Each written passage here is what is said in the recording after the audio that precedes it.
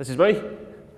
Uh, yeah, I'm a penetration tester for Portcullis. Uh, been there for about, about 14 months now. Um, one of my specialities is uh, messing around with uh, binary protocols, uh, messing around with network protocols, messing around with uh, flat files, uh, Windows reverse engineering, Windows internal stuff, um, Windows binary applications. So that's the kind of stuff I, I really enjoy doing.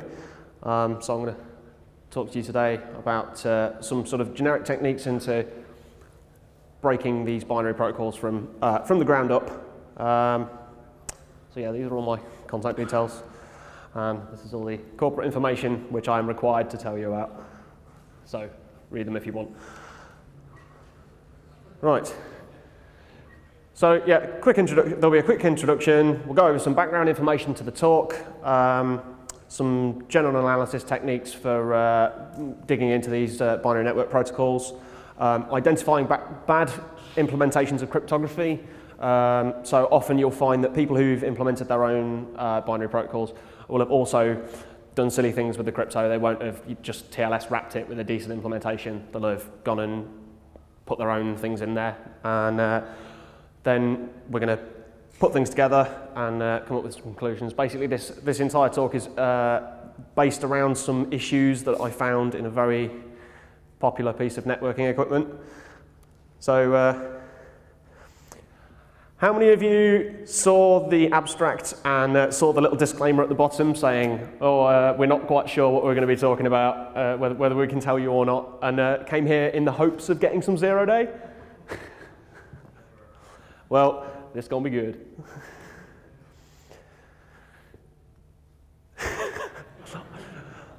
I'm particularly proud of some of these animated GIFs.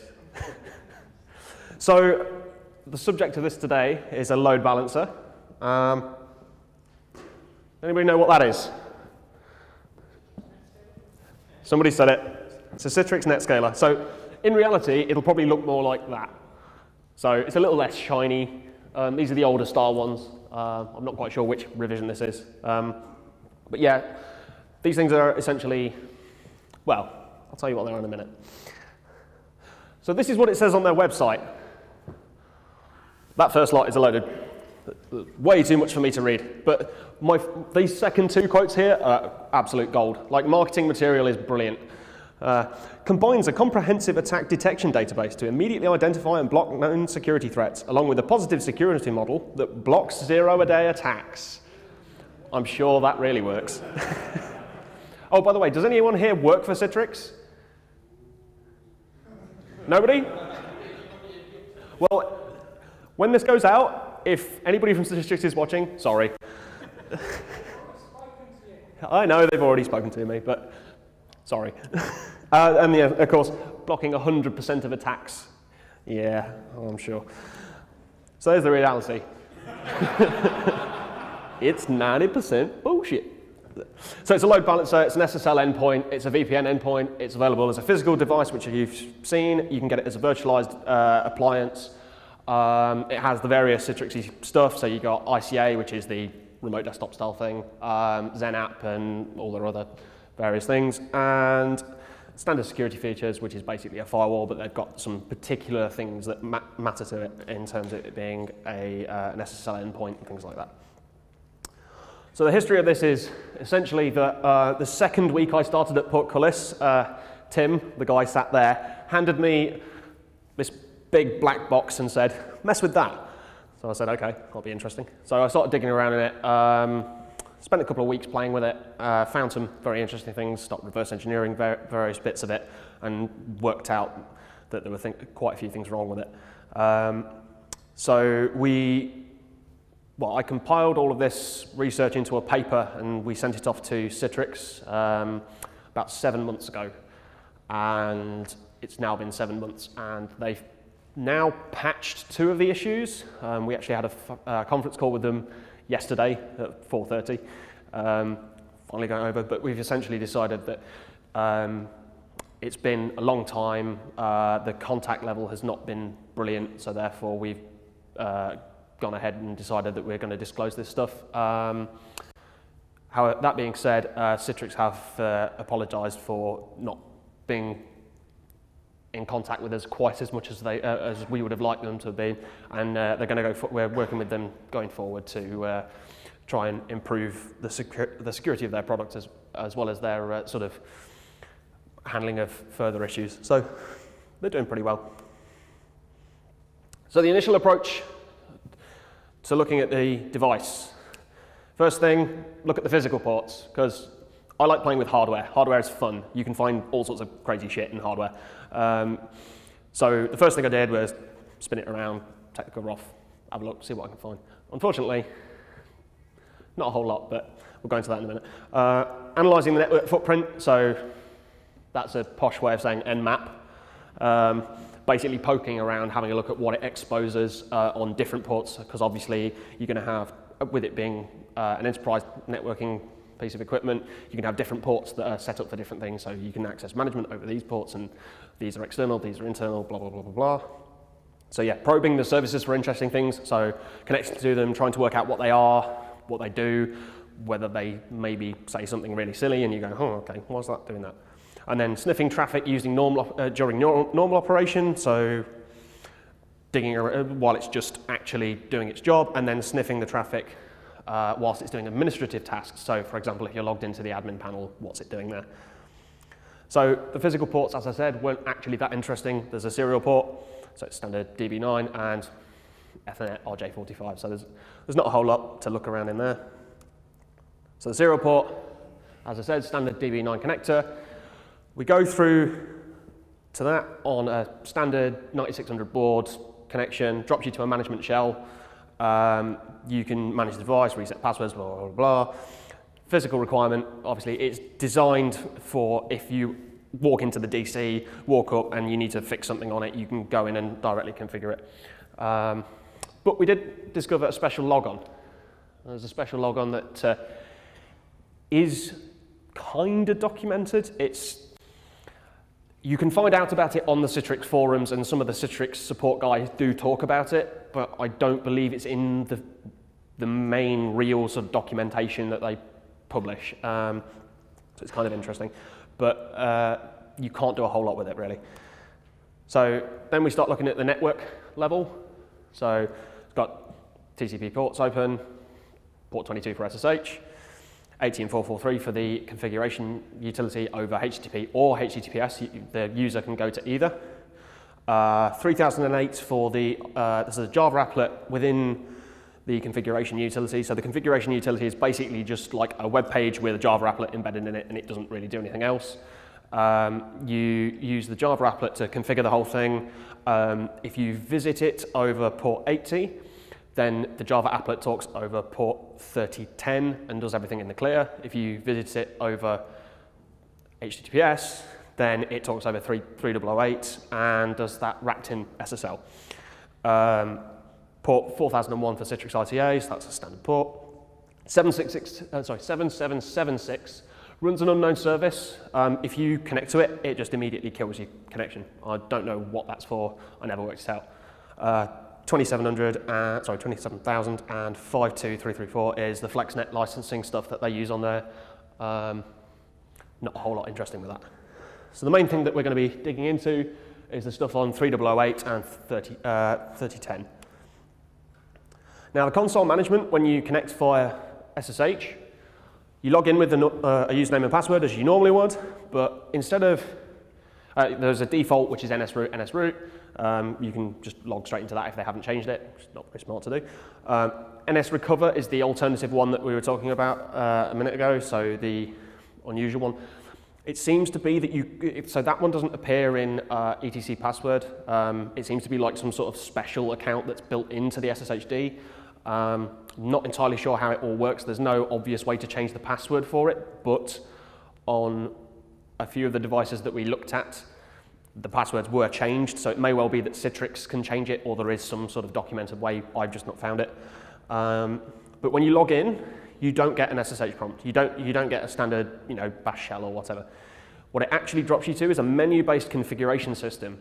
So what they've done is they've taken this SSHD and then pipe, basically piped this management utility into it so that when you log in, you just drop into that. So that you can't, there's no real sort of like breakout from that.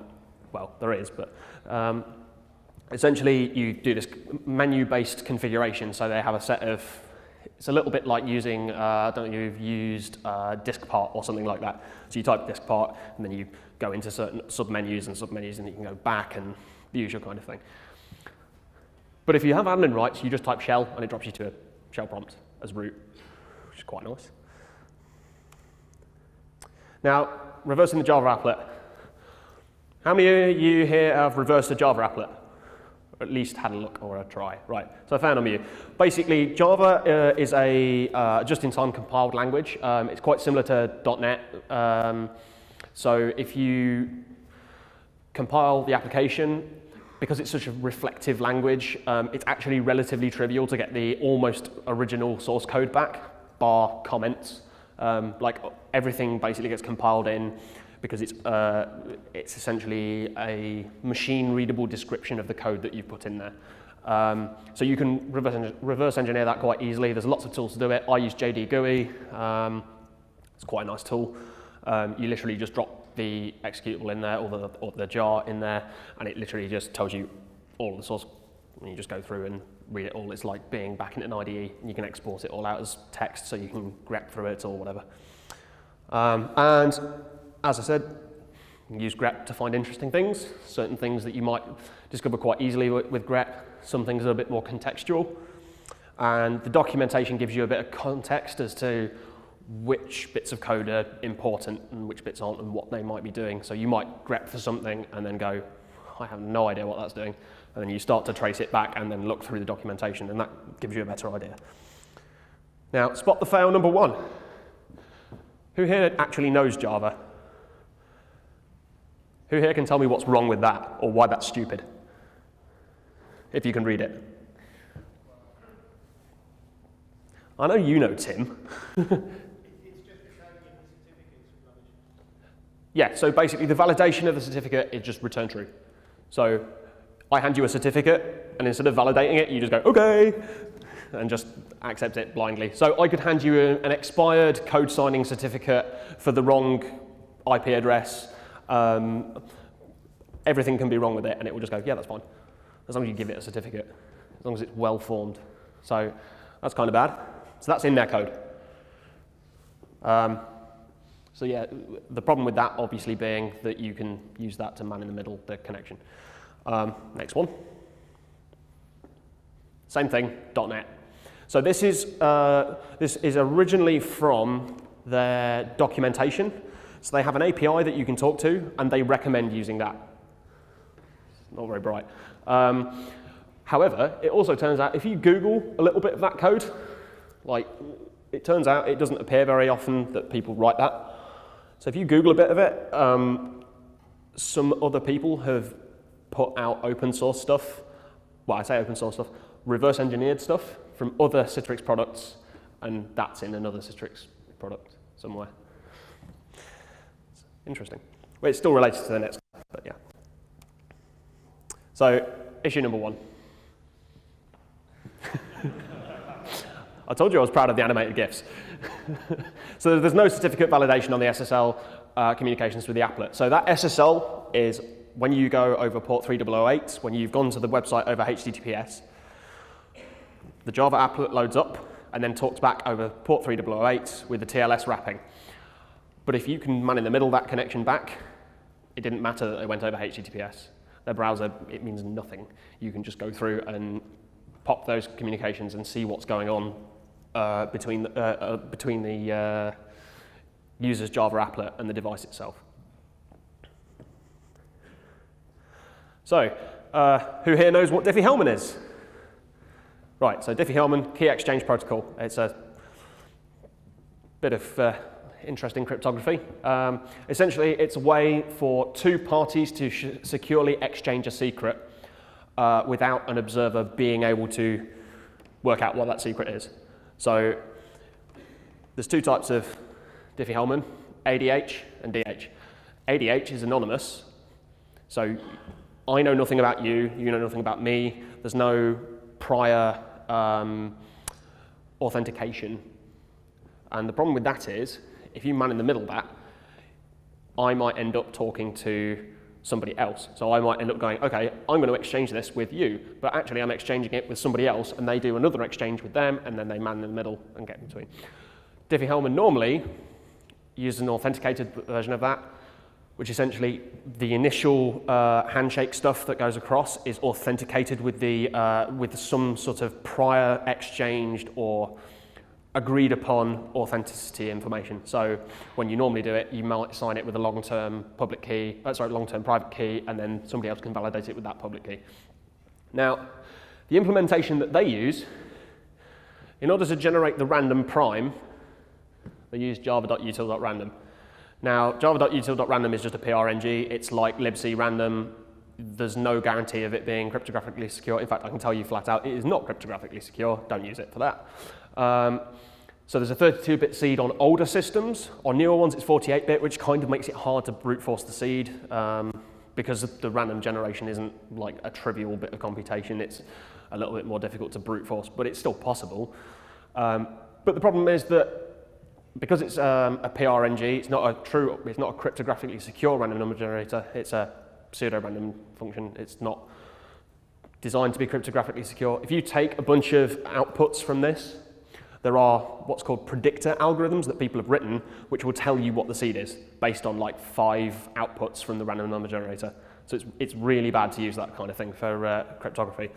And the seed is also based on a timestamp, so that really narrows your uh, narrows down your values because if you know that the applet started up roughly when you just saw somebody download a big bit of HTTPS data off uh, the off of the Netscaler, you can kind of guess roughly the timestamp is going to be within this range and therefore you've just cut the number of seeds down massively. So then all you need to do is guess that, uh, have enough guesses, have enough outputs, be able to roughly work out uh, what potential value, what potential seed values there could be until you get them within this window, and then suddenly you know what the seed is, and then you can work out every random number generator, uh, random number that it will generate, and therefore you can work out what the Diffie-Hellman private information was, and then you get the secret, which means you win.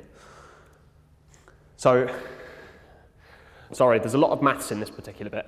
I'll say a lot. Uh, so the way Diffie-Hellman works is that you have um, a prime P and a base G. Um, these values are sort of picked beforehand and uh, then in, in the way that it was implemented in their code is as follows. You pick prime P, base G, then you pseudo-randomly select a candidate secret value, so A apostrophe, which is the candidate secret value, i.e. I think I'm going to use this one, I need to check that it's all right first. Um, such that it's less than the max. So imagine I pick the number 3 as my uh, p-value. Now, 3 in terms of the number of bits you need to store the number 3, you need what? Two bits, three bits? So my, my brain is not working today. A number of bits. Now, Given that candidate number P, basically using the same sort of idea, how many bits do I need to store this number? So that's the, the maximum value that this will be. So basically what it does is it loops through and goes, okay, I need to pick another number that's smaller than this one. So if I pick a number such that it's, it's got that number of bits, there's a good chance that I'm going to be somewhere around the right maximum value. So then it next checks that it's actually less than that value. And if, it has, if, it's, if, that doesn't, if that condition doesn't match, it loops around again, tries to pick another number. So what it's essentially doing is saying, okay, pick a random number. Does that random number satisfy these things? If it does, hooray, let's use that. If it doesn't, pick another one. Now, this is kind of interesting because the upper bound for that value is something that you know because it's a public piece of information. So if I hand out this public piece of information and say to you, okay, I'm going to pick a bunch of, I'm going to pick a random number, but I don't know whether it's going to satisfy these conditions, I'm going to loop around until I do it. Well, what happens if you work out how long it took me to do that? Based on that piece of information you know, you can start to work out how many iterations I might have done in order to hit that value. So by knowing this public value and knowing how long it took me to generate the private value part, you might be able to start working out some more information about how the uh, uh, about what that value might be, um, or more importantly, about which values I discarded. Now, if you know that I discarded a whole bunch of values, you can know that those values have a certain property, like, for example, that they were too big. So if I say, okay, here's the number 1000, I'm going to pick a bunch of random numbers until I find one that's less than 1000.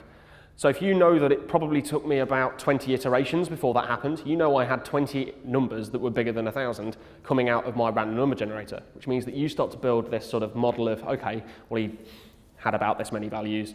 We know that, therefore, we might be able to build a predictor for that random number generator such that I can tell it, okay, I picked 60 random values that were larger than this. Find me a sequence uh, sorry, find me a seed whereby this sequence is likely to have occurred. And then when we start to tie all this information together, we can start to look at, you know, for example, oh, well, if the p-value is quite high um, and has uh, like a lot of its early bits set to one, you know that all of the discarded ones must have always or also had its those bits set to one because in order for it to be larger, it must also therefore have those bits set to 1. So you can start to work out these little things and start to unravel information about the discarded values and then start to work out this information about what the random number generator outputted. Now, there's also a function called munge in there, which made me laugh because it's a completely ridiculous name for a function. Um, so they have this function called munge, and literally what it does is it takes an input value uh, of some bytes and repeatedly XORs these fixed values, these static keys, over that information and then outputs them again. So it's like a, a really crap encryption algorithm. Um, and it turns out that these byte values are um, these strings here. Now, the first one, uh, look like, uh, they look like landmarks in India. I'm not, I don't know whether anybody recognizes those. I don't know what they are. Um, and the bottom one uh, is a company that used to make hard drive controllers. So I'm not really quite sure what that's all about. But anyway, um, yeah, so uh, we've got two issues there. Issue number one is the weird Diffie-Hellman stuff, um, badly implemented. And issue number two is these static crypto things. We'll go into what they were used for in a bit. So, as I say, we have issues. Incidentally, that is my favourite GIF ever. This is so weird. So you remember how I said to uh, anybody who from Citrix who's watching, sorry? Things like this that. right, I'm lazy, like really lazy. I really can't be asked to this. So like breaking DH is hard, breaking RNGs is hard, it hurts my head. I have to do maths. My beard isn't big enough to talk about probability theorem. Um, so yeah, I'm, I'm lazy. Let's break it easy, uh, in an easier way. So the binary protocol, digging around in that, and, you, you'll see why that other stuff is relevant in a minute. Uh, analyzing the traffic on port 3010, which is the plain text stuff. It's easy to look at. However, there's a, there's a clear text header, which has a bunch of stuff in there that I look at and go, okay, yeah, that looks like clear text to me, followed by something that's quite high entropy. So that looks either compressed or encrypted, or both. Um, so the, a bit of guessing so as I started to look at the protocol, look at how things changed, um, you can sort of see values that look like uh, encoded integers. So like, uh, for example, if you get um, 1, 0, 0, 0, 0, 0, 0, 0, so you've got four bytes there, you kind of think, well, okay, well, that looks like an integer whose value is 16 because 1, 0 in hex is 16, and then you've got a bunch of zeros after there, it looks like a 4 byte int. So you can kind of guess certain things. So then you go, okay, well, what does that number represent? Well, what about the length of the packet?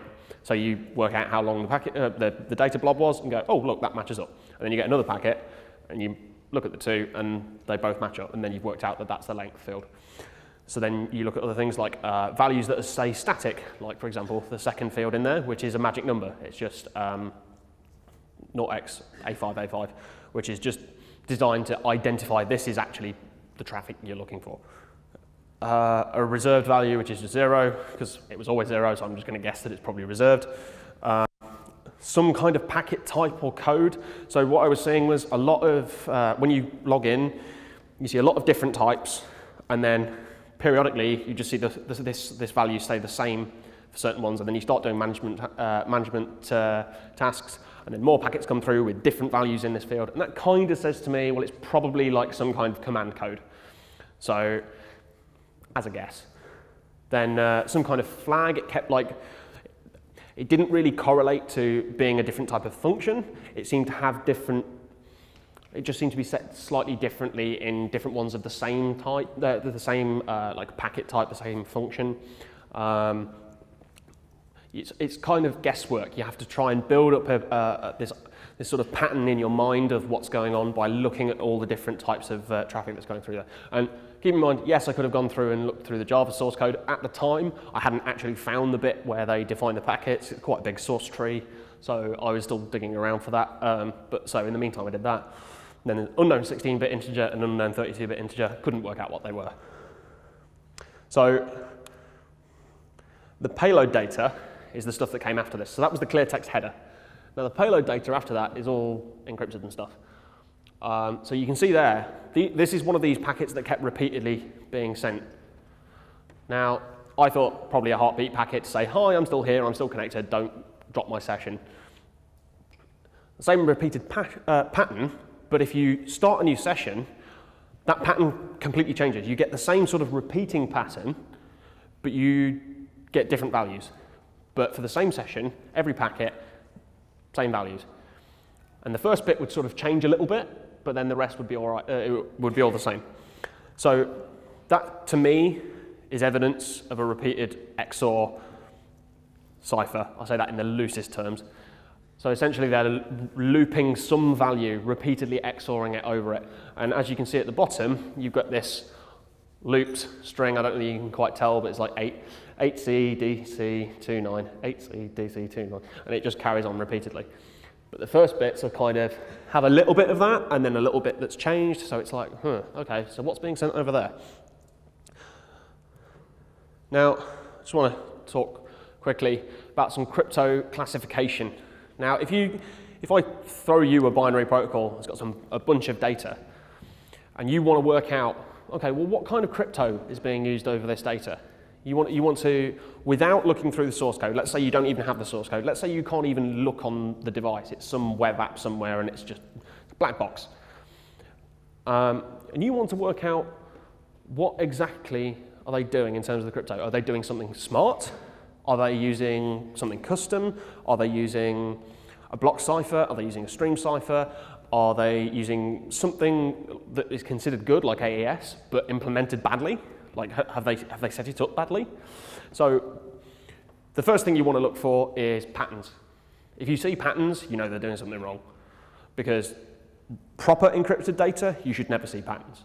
It should all just look like purely random gibberish. So if you start to see these sort of repeated blocks of data or like repeated little sequences of bytes, you can start to work out that maybe they're doing something a little bit wrong.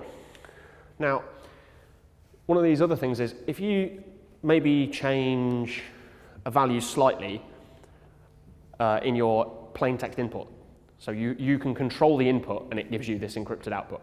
So it's what's called, it's a form of uh, differential cryptanalysis because you're essentially taking what's coming in and comparing it what's coming out and working out what those changes are.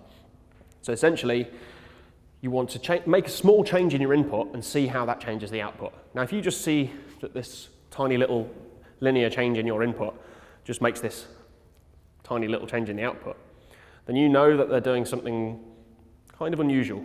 Either it's a stream cipher or it's something like repeated XOR, because if you change one bit and one bit changes on the output, you know that they're doing something linear that's going across, for example, an exclusive OR operation. Uh, so if you've got a single byte input change, gives you a single byte output change, you've either got a stream cipher or something crap like repeated XOR. Uh, but then if you cycle to a new session and then try and do the same and you see different values, it might either be that they've changed the key. Uh, yeah, they've probably changed the key, but if they don't, then you know it's probably a static key, which is interesting. Um, or if you know it's the same key somehow, I don't know, um, then they might be using something like an initialization value, uh, initialization vector, which then will also change the output of the value. Um, so if you see that an, a single input byte change changes a whole block of output, so like maybe 16 bytes or something, or 8 bytes, you know that they're probably using a block cipher. So the way a block cipher works is, uh, given a block of input, a fixed length size of input, it's not only does it alter the values, but it also permutes the information around. There's, a, there's two concepts, one's called confusion, the other one's called diffusion. Confusion is about taking a value and making it a different value. Diffusion is about taking that value and moving it around in the block. So, or splitting it out into its individual bits and then flipping those all around and then messing with them more and more and more. So by mixing confusion and diffusion, you get a, a half-decent block cipher. So it's, uh, I think, um, Claude, Claude Shannon is the one who came up with that terminology, I think. He's a smart guy.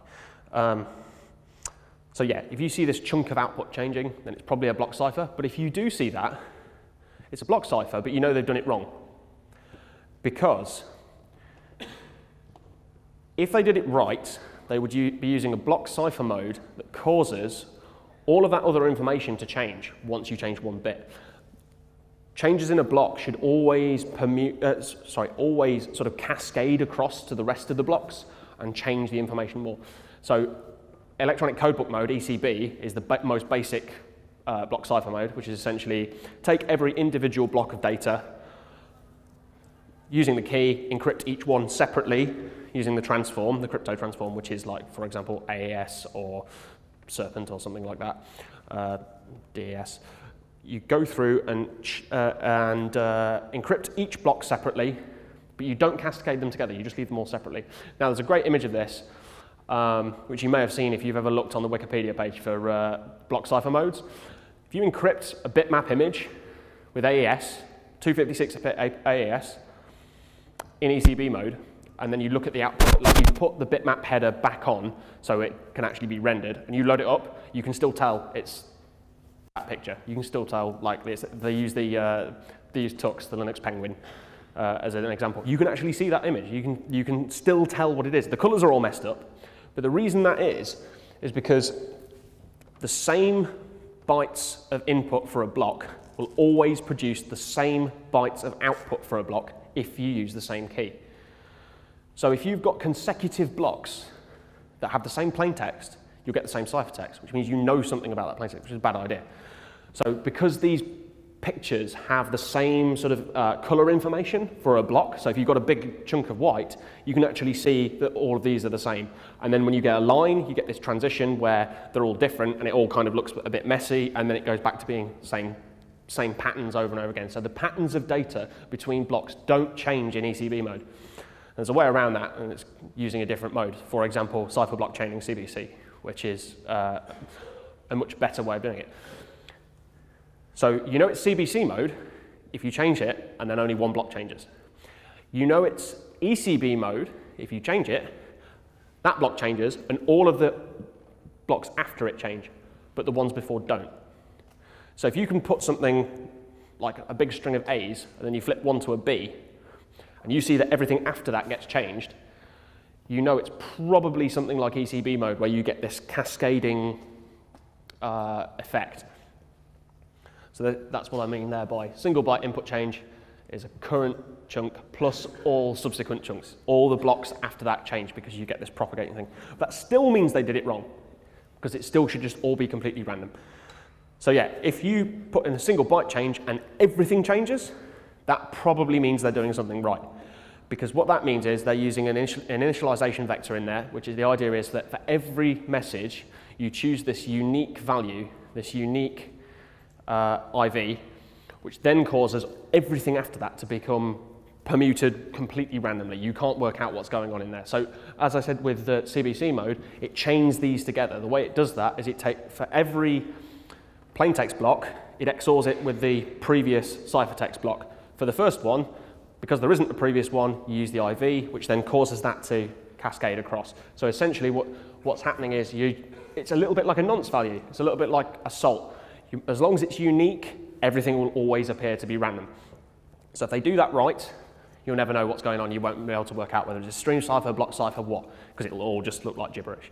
But if you can see these changes, these behaviors of the cryptography, when you change small amounts of information, you can start to get a picture of what's happening in, uh, in that implementation. So you can start to work out that maybe they're using ECB mode, maybe they're using CBC, but they've got a static IV, so it's not changing. So that this, you get that cascade effect where you change one thing, everything after changes, but the values before stay the same.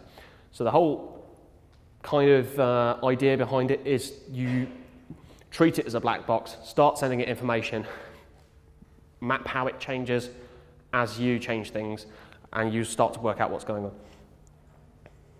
And the final thing there is uh, the block size of the chunk. So if you flip one bit and a whole block changes, by working out how much of that data, uh, how much data changed, you can see the block size, which means you can narrow that down to, okay, well, how many block ciphers do I know that have a 64-bit block size or a 128-bit block size? So then you can start to work out maybe, maybe they're using AES, maybe they're using Blowfish, maybe they're using DES. You can start to work out what's going on. Now, decrypting the actual payload. So as I said before, it looked like repeated XOR. So I just took those bytes at the bottom and guessed that maybe they were like null bytes. So if they were null bytes and then you XOR them with a key, the result would just be the key. So they would be just transmitting the key inside the packet in, in the clear. You could just see it. So when I did it and uh, XORed everything with it, get a bunch of zeros and then get stuff that looks like an actual proper packet header. And that to me went, oh, okay, yeah, they're definitely doing repeated XOR. So I eventually found the packet structure in the code, had a look around, did some more intuitive analysis to guess the fields, worked out what was going on. And this is what it said in the actual packet structure. So packet length, magic number, reserved, command, flag, error code, and dev number. So you remember I said there was a 16-bit and a 32-bit integer that I didn't know? It's those two at the end. Now this is a login packet, and uh, the username and password were, looked encrypted. I couldn't work out what was going on. Now, remember I said that there was two functions called munge, and those two static crypto keys inside there. Well, it turns out that if you XOR the username with the first one, and you XOR the password with the other one, you get the clear text username and password. So you can actually go through and decrypt all that information. So the high level overview here, oh yeah, and close enough. I got pretty close to working it out without looking at the source, so I'm happy about that. So high level overview. So the handshake packets at the start use DH to exchange a key for the session. That key is then used to encrypt the subsequent packets. So it's using this repeated XOR so-called cipher. Um, and then the login packet is sent, contains the username and password obscured with that munging function. And the username and password, whilst they are ASCII, they're quite clearly, obviously there, they're not the ones that we entered, which is a little bit weird. And it turns out we can do some interesting things with that. Basically, it comes out as a bunch of hexadecimal uh, in ASCII, and it looks kind of odd. So the impact here is if the user views it over HTTP, we can use the traffic on port 3010, which is in the clear, but encrypted with their custom algorithm. We can pop that crypto off quite easily just by watching for a single ping packet, which then actually contains the damn keys inside the packet because it's XOR with zero, which gives you that value. Then you can decrypt everything, decrypt all of the traffic all the way back, and you get the username and password. They do it on 3008, so if they visited the applet that, and gone on via HTTPS, it goes, all right, best use, best use port 3008, best, best be secure. And then they go through and uh, just let any SSL certificate through. So you can just man in the middle of that, pop the crypto off again, you win. But what are those logins, the, the weird ones that we couldn't actually quite that they didn't look right. Well, they're not your everyday login. So the accounts on the wire are like session IDs. So the username, so-called username, is two hashes, a bunch of hex, and then a null byte. And the passwords are just a bunch of hex again. Now, if you log into those, uh, you log those in to the, uh, the normal SSH. So basically you log in over the panel and you've, and you've sat there and sniffed somebody's connection and you've decrypted that traffic. You then take those, that, those bits of information and use them to log into the NetScaler over, uh, over SSH. And it drops you straight in. So you just stole somebody's session, and you got, and if they've got, if the one, uh, if the person that you were monitoring, the person whose traffic you were stealing, was a super user, you type shell, you get root. So that's your money shot right there. You, you, you win by sniffing the traffic or by man in the middling them. Any questions? And more animated GIFs. Yes? Um, just clear up, you said this is obviously occurring when they're logging in over the Open Java ports, so is only the Citrix Java client vulnerable? Is the default desktop client secure against this and the Right, HTML5 I don't know about any of the other clients. These are, the, the Java one was the only one I looked at. Um, it may well be that the other clients are vulnerable. It may well be that they're not. I would imagine the, HT, the uh, HTML5 one probably wasn't because it's probably just doing like AJAX calls back into it. I would imagine that was in one of the newer NetScalers because they have got some uh, slightly different uh, admin panel stuff on there. Um, but the Java, the Java stuff, uh, yeah, definitely vulnerable. For, uh, well, was vulnerable. They have now released uh, a patch which fixes the SSL validation and uh, fixes, well, apparently fixes the, the, uh, the Diffie-Hellman stuff. We haven't reviewed this yet. They've said that they've released it and they said that there's a patch out. We haven't actually had time to go back and look at it because we only had the conf call with them at 4.30 yesterday to verify all of this. So, yeah. Anyone else? Yeah.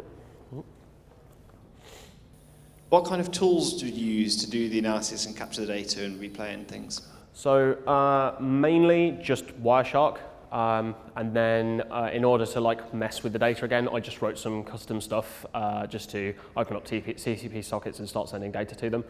Um, there are tools that you can use to do uh, like binary, uh, like on the wire manipulation. I've not found a good one yet. Um, the one that I would use if I had to, uh, I forgot the name of it now, uh, Echo Mirage um, is a Windows one. So basically it, it binds to the, um, uh, the packet functions and lets you mess with stuff as they're coming in and out. There are a couple of ones that do that. But Echo Mirage can also detect if you're using standard SSL wrappers and then give you the stuff before the SSL, which is quite nice. I like that feature. It doesn't work with everything, but it works with um, like the, the Windows standard API for doing SSL. Uh, it works for, um, I think, a couple of standard like open source libraries as well. It detects those and goes, okay, I'm going to hook before that rather than hooking the packet send function, which is quite nice.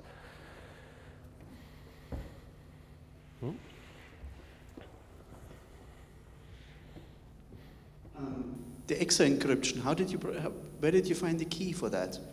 So the XOR encryption is inside the, uh, so the ping packets that we're getting sent, um, because it's, uh, because of the way XOR works, if you XOR a value with zero, you just get that value. So because the ping packets that were being sent had encrypted payloads, and those payloads were always zero, it just meant that they were sending the key in the packet because you could literally just see it. Essentially, it's it, if it, but though if it was still a static value and it wasn't zero, it still wouldn't matter because you just XOR it with whatever static value you've got in the packet. If you know the data is there, you just XOR it back against. Uh, so you get the ciphertext, XOR it with the plain text, and that just gives you the key. So you can just recover the key through doing that. And then by getting that key, you can go back and decrypt everything else. Anyone else? So, uh, thanks very much. Hang on, one, one last little bit. Sorry. So just quick special thanks. Uh, first off to Tim for just throwing this at me and putting me in the deep end my second week into the job.